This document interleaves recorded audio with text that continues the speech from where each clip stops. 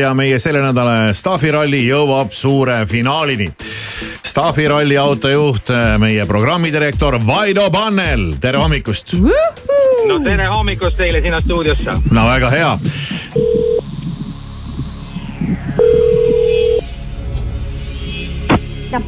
hallo. hallo. hallo. hallo, kas see on Leila? jah. Leila, palju õnne.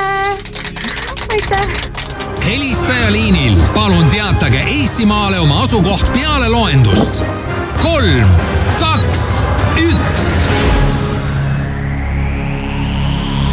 nii, kuhu sõidab Vaido?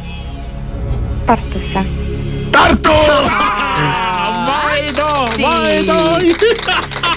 Tartu, Tartu. Vaido väike nelis-. kõige kaunim linn on Tartu. ja, ja ma saan aru, et see on, see laul tuleb sul juba rohkem sellisest eufooriast, aga Vaido.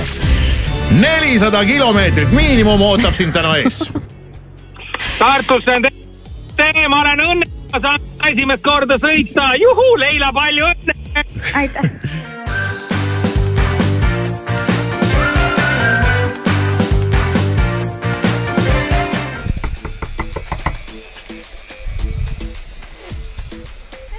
Tere, Leila, palju õnne! staafiralli võit ja kõik asjad on sinu. Leila, kes on siis võitnud meie staffiralli kolmanda nädala staffi. Leila, mis te, te olete nüüd värskelt näinud seda staffi, mis, mis emotsioon, mis mulje, mis tunne? ma arvan, et ma ei suuda veel praegu päris ära hoomata. ja, ja neid asju on nii palju ka. Just andsime ära kolmanda autotäie staffi Leilale, kes elab Tartu külje all.